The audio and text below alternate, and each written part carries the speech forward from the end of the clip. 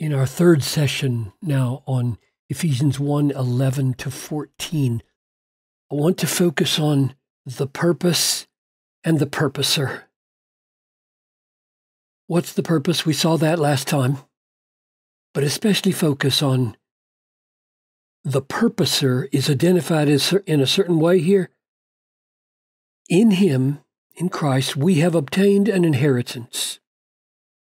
Having been predestined so the predestination is the way God is securing this inheritance for us. He chose us for an inheritance, and He, in that, secured it by nailing down our destiny. He predestined us according to the purpose. And let me pause here and name it one more time and then focus on the purposer and how he intends to secure the absolute infallibility that this purpose will come to pass.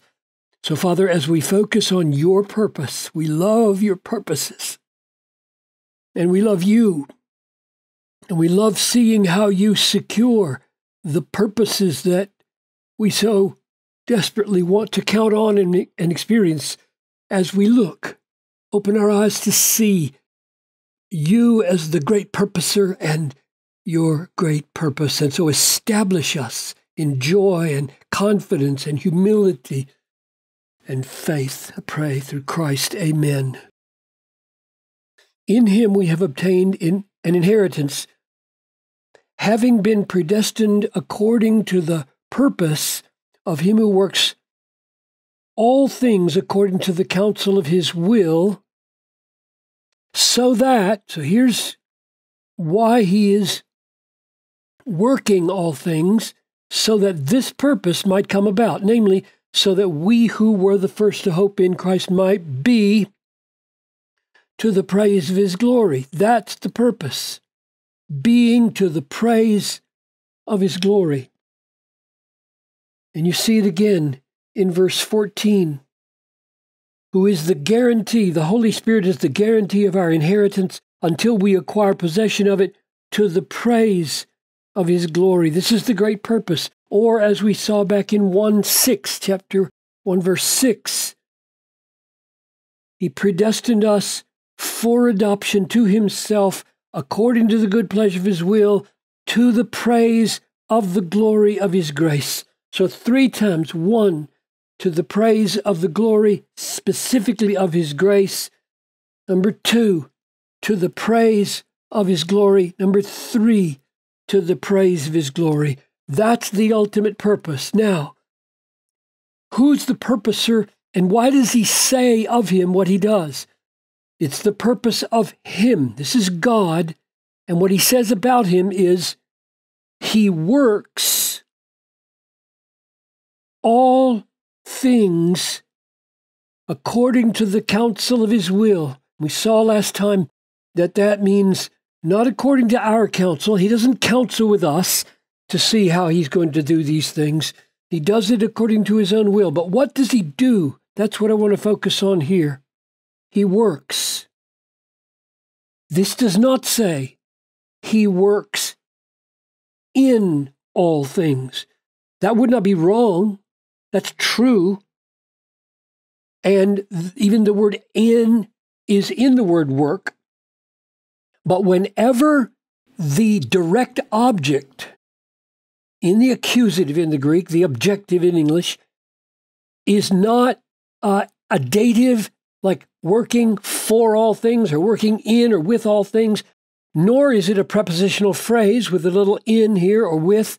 Whenever it is a direct object in the accusative, it doesn't mean work in, it means bring about. It means effect. See to it that it happens. You can see that again if you look over at Galatians 3 5, where the same word is used with a direct object in the accusative, does he who supplies the Spirit to you and works miracles. There's no working in miracles or no working with miracles or no working by miracles. This is this is a direct object. He works miracles. That's the same grammatical construction that we have here.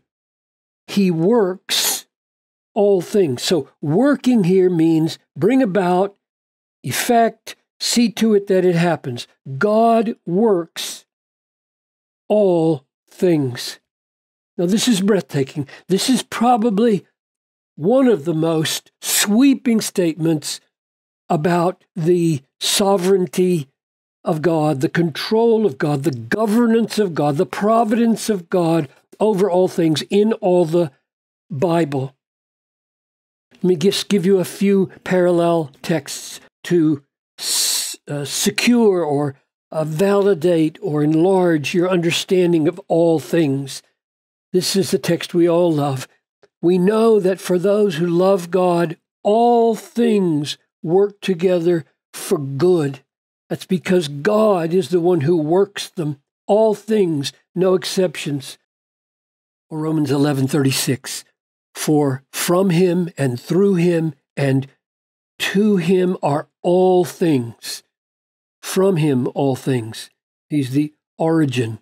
Through him, all things. He's the agent. And to him, all things. They're for his glory. And so, not surprising that just like in Ephesians 1, the glory of God is the great goal.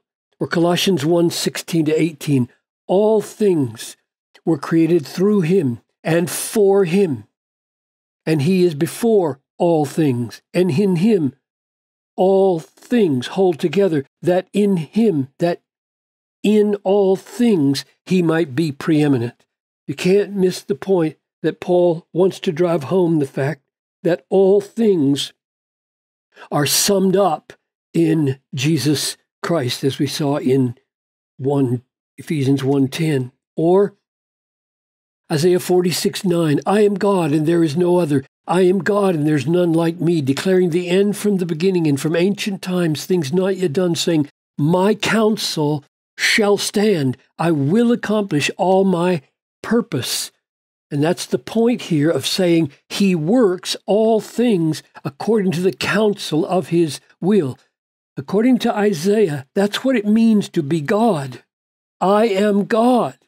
There's none like me, and what makes me God is that my counsel stands. I accomplish all of it, all of it. Job 42. Then Job answered the Lord. This is at the end when he's learned all of his lessons. I know that you can do all things and that no purpose of yours can be thwarted. Or Jesus on the details of God's sovereignty. Are not two sparrows sold for a penny? And not one of them will fall to the ground apart from your Father?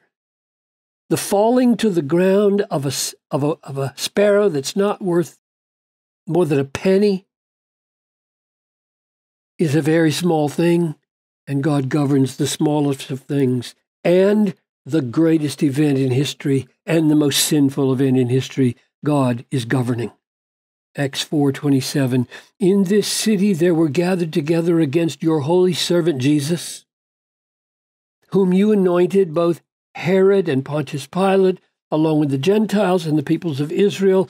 So four groups all of them sinning. Herod with his mockery, Pilate with his expediency, the Gentile soldiers nailing him to the cross and slapping him around, the peoples of Israel crying out, Crucify him, crucify him. And they were all gathered together to do. Remember, he works all things.